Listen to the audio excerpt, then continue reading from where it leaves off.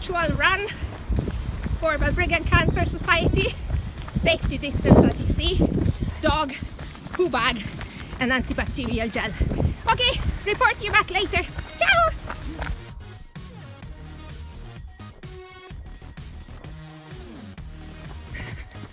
Down from Arrow Hill now, old uh, cancer support group route.